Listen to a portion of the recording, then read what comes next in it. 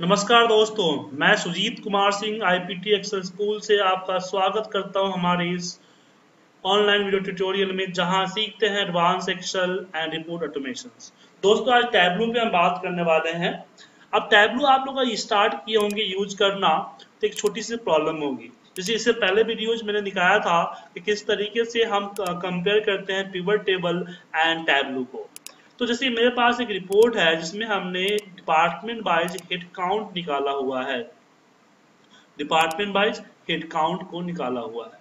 But problem है कि tableau में कैसे करें? क्योंकि टैबलू के अंदर में अगर मैं डोनेशन डिपार्टमेंट को रो में रखता हूँ तो रो अगर मैंने नेम को अगर मान लीजिए यहाँ रखू टोटल में, जहाँ पे टोटल करता हूँ तो यहाँ पे देखिए नेम आ जाता है, क्योंकि नेम रो में ही दिल जाता है वो टोटल होता नहीं है।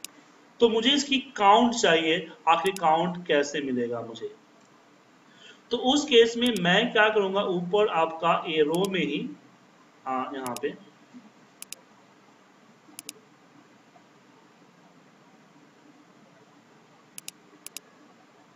ये रो में मैं क्या करता हूँ? मैं करता हूँ यहाँ पे काउंटेड काउंट भी लगा सकते हैं। काउंट एक मिनट काउंट में क्या होता है? नंबर काउंट करता है आई थिंक फुल नेम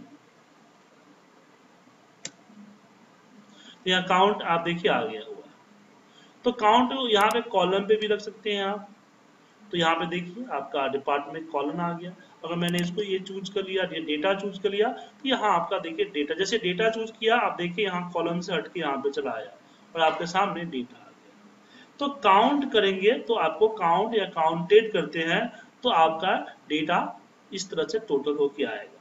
अगर टेक्स्ट को करते हैं तो तो बाय डिफ़ॉल्ट आप चाहेंगे कि हो जाए तो नहीं होगा, यहाँ पे देना पड़ेगा, क्योंकि पीडीएफ में तो बाय डिफ़ॉल्ट हो जाता है कि पीडीएफ में अगर मैंने उठा के यहाँ रख दिया, अगर वैल्यू है तो वैल्यू हो जाएगा काउंट होता काउंट हो जाएगा बट इसके अंदर में आपको काउंट का फॉर्मूला अप्लाई करना पड़ता है। और भी तरीके हैं, हम इसी तरह से वीडियो में आपको बताते रहेंगे। वीडियो अच्छा लगा तो लाइक कीजिएगा चैनल को सब्सक्राइब कीजिएगा, और मुझसे अगर advance excel Tableau power B I सीखना चाहते हैं तो आप हमारे साथ ऑनलाइन सीख सकते हैं।